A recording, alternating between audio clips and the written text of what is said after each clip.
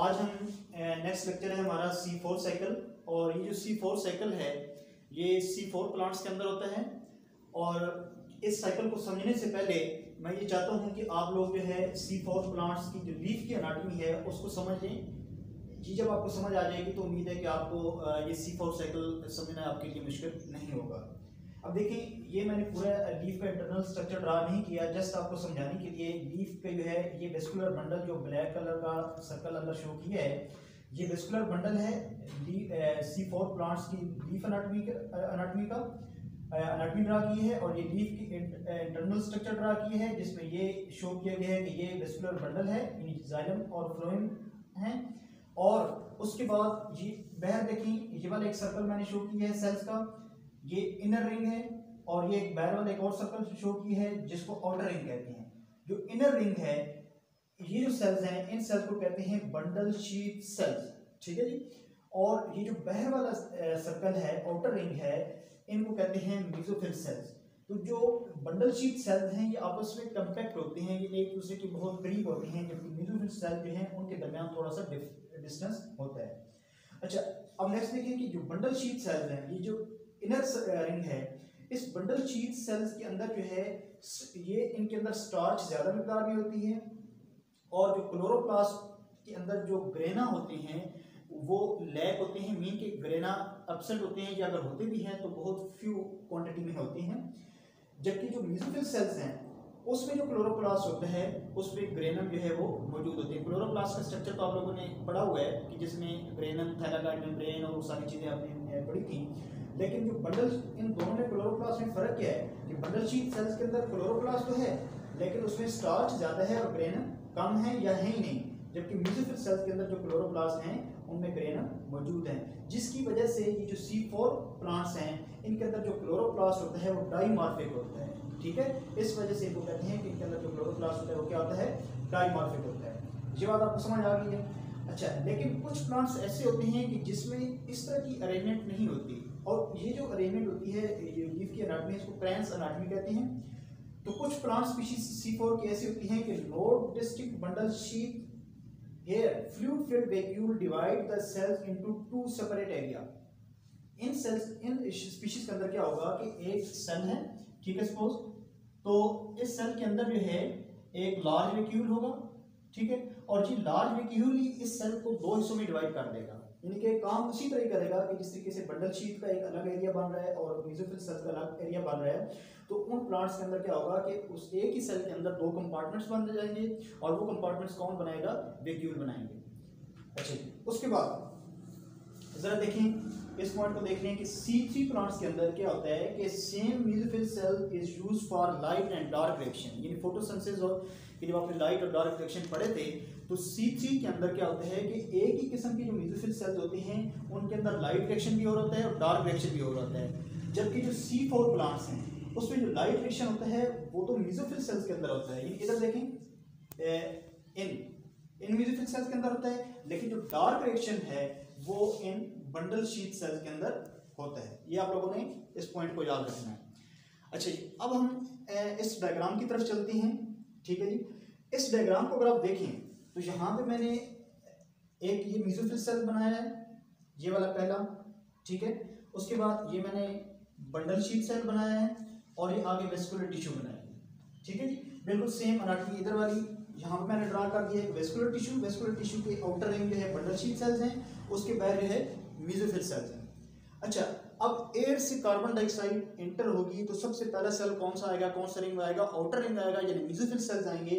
तो जैसे ही कार्बन डाइऑक्साइड म्यूजिफिल सेल्स के अंदर इंटर होगी तो सी थ्री प्लांट्स के अंदर याद रखना है कि वहाँ पे रोबिस्को एंजाइम्स था जिसने ये रिएक्शन करवाया था कार्बन डाइऑक्साइड को फिक्स किया आ, किया था।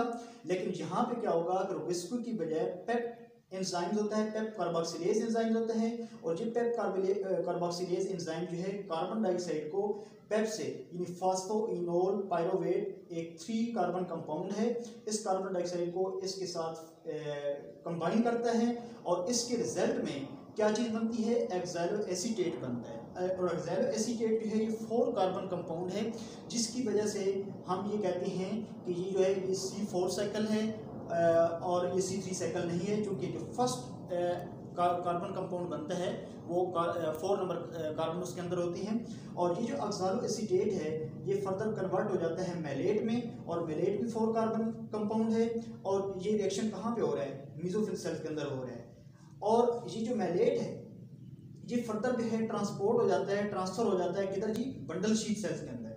अच्छा जब बंडल शीट सेल्स के अंदर ये मेलेट जाता है तो आगे जो है इससे दो तरह के कंपाउंड बनते हैं। एक देखें कार्बन डाइऑक्साइड बन रही है, ठीक है, और एक देखें पायरोवेट बन रहा है।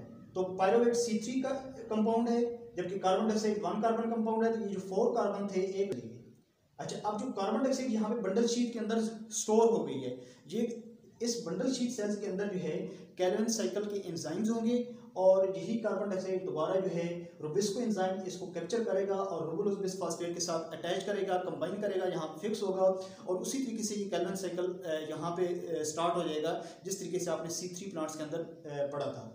तो यहाँ से शुगर सिंथेसाइज होगी सक्रोज और वो शुगर जो है फर्दर जो है वेस्कुलर टिश्यू के अंदर चली जाएगी। लेकिन दूसरी तरफ़ देखें मैलेट ने पायरोवेट भी तो बनाया ना ये जो पायरोवेट है ये बंडल शीट से दोबारा बैक ट्रांसफ़र होगा मीजोफिल सेल्स के अंदर ठीक है जी? और मीजोफिल सेल्स के अंदर ये जब पैरोवेट आ जाएगा तो ये पैरोवेट क्या करेगा कि एक एटीपी का मालिक्यूल अपने साथ अटैच करेगा और एटीपी की मदद से ये पैरोवेट जो है रीजनरेट होगा कन्वर्ट हो, जाए, हो जाएगा इनटू पेप्टे यानी फास्फोइनोल पैरोवेट में कन्वर्ट हो जाएगा।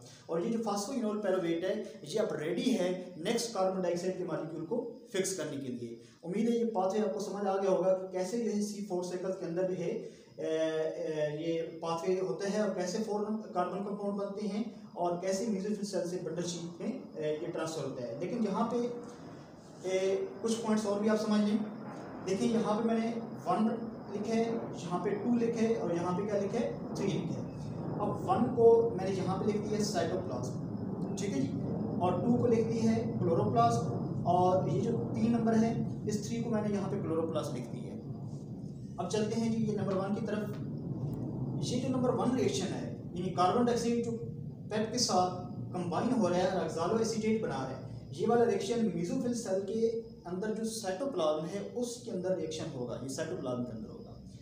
जब अक्जालो एसिटेट बन जाएगा तो अक्जालो एसिटेट जो है ट्रांसफ़र हो जाएगा इसी म्यूजिफिल सेल के क्लोरोप्लास्ट के अंदर। और उस क्लोरोप्लास्ट के अंदर जाके मेलेट बनाएगा, ठीक है? जब मेलेट बन जाएगा तो फिर वो म्यूजिफिल सेल्स का जो क्लोरोप्लास्ट है, उधर से मेलेट ट्रांसफ़र हो जाएगा बंडल शीट सेल्स के अंदर और बंडल शीट सेल्स के अंदर जाके ये मेलेट किधर जाएगा? क्लोरोप्लास्ट के अंदर। और वो जो क्लोरोप्लास्ट के अंदर मेलेट जाएगा तो फर्दर जो है वहाँ से ये दो कंपाउंड में कन्वर्ट होगा, यानी कार्बन डाइऑक्साइड में और पायोवेट में कन्वर्ट होगा, ठीक है जी? तो ये यहाँ पे इस चीज़ को भी आपने समझना ज़रूरी है कि ये रिएक्शन जो है वो कहाँ कहाँ पे हो रहे हैं? अच्छा अब देखिए, आप लोगों के लिए मैंने यहाँ पे एक स्टेटमेंट लिखी है कि mesophyll cells constantly pump carbon dioxide in the neighbouring bundle sheath cell in form of malate so the level of carbon dioxide is higher as compare to oxygen so minimise the photo respiration photo respiration जो है उसके drawback को ख़त्म करने के लिए सी four cycle जो है इन प्लांट्स के अंदर जो है सी फोर प्लांट्स के अंदर जो स्टार्ट हुआ था, उसके मिनिमाइज करने के लिए तो यहाँ पे देखें कि चूँकि जब बंडल शीट सेल्स के अंदर कार्बन डाइऑक्साइड का लेवल ज़्यादा हो जाएगा तो ऑटोमेटिकली जो बिस्को एंजाइम होगा, वो बजाय इसके कि ऑक्सीजन के साथ कंबाइन हो, वो कार्बन डाइऑक्साइड के साथ ही कंबाइन होगा और इस तरीके से कैलन साइकिल जो है वो कंटिन्यू होता रहेगा। तो चूँकि ये जो प्लांट्स होते हैं, ये जब खास करके जो, जब हाई टेम्परेचर होता है या ड्राउट कंडीशन होती हैं तो वहाँ पर ये सी फोर प्लांट्स जो हैं, उनकी जो एफिशिएंसी होती है वो ज़्यादा होती है। बेहतर होती है। उसकी वजह ये होती है कि जब बहुत ज़्यादा टेम्परेचर होता है तो स्टोमेटा क्लोज हो जाते हैं। स्टोमेटा के क्लोज होने से जो कार्बन डाइऑक्साइड है उसकी एंट्री बंद हो जाती है। तो सी थ्री प्लांट्स के अंदर तो ये ऐसा होता है कि वहाँ पे तो कार्बन डाइऑक्साइड जब अंदर दाखिल नहीं होगी तो ऑक्सीजन का लेवल हाई हो जाएगा। तो ऑटोमेटिकली इसको ऑक्सीजन के साथ अपना केमिकल रिएक्शन करेगा।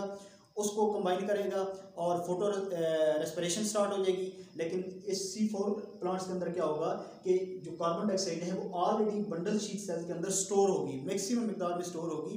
तो ये प्लांट्स अगर सोमेटा क्लोज भी हो जाते हैं तब भी जो है ये केमिकल रिएक्शन को स्टार्ट कर सकते हैं। और दूसरा जो मैंने आपको बताया था कि कुछ सी फोर प्लांट्स ऐसे होते हैं कि जिसमें बंडल चीज़ सेल जो है अलहदा नहीं होते नज़र नहीं आते, लेकिन एक ही सेल के अंदर वैक्यूल होता है और वो दो कंपार्टमेंट्स बनाते हैं। तो वो जो कार्बन डाइऑक्साइड है, उस वैक्यूल के अंदर स्टोर होती है। और वो कार्बन डाइऑक्साइड उस वक्त यूज़ होती है कि जब स्टोमेटा क्लोज हो जाते हैं तो जो कैलवन साइकिल को कैरी करने के लिए वो कार्बन डाइऑक्साइड यूज़ होती रहती है और इस तरीके से ये प्रोसेस जो है वो कंटिन्यू रहता है, जिसकी वजह से जो सी फोर प्लांट्स हैं, ये बेहतर होते हैं as compare to C three plants के। तो ये देख लें बच्चों ये ओवरऑल आपका सी फोर साइकिल था कि कैसे जो है सी फोर प्लांट्स की अनाटमी कैसे होती है लीफ की और फिर उनके अंदर कैसे रिएक्शन होते हैं और सी फोर प्लांट्स के अंदर जो है मीजोफिल सेल और बंडल शीट सेल दोनों इन्वॉल्व होते हैं। इसको आप देख लें पिक्स बना लें। थैंक यू वेरी मच और आप इसको स्टडी करें।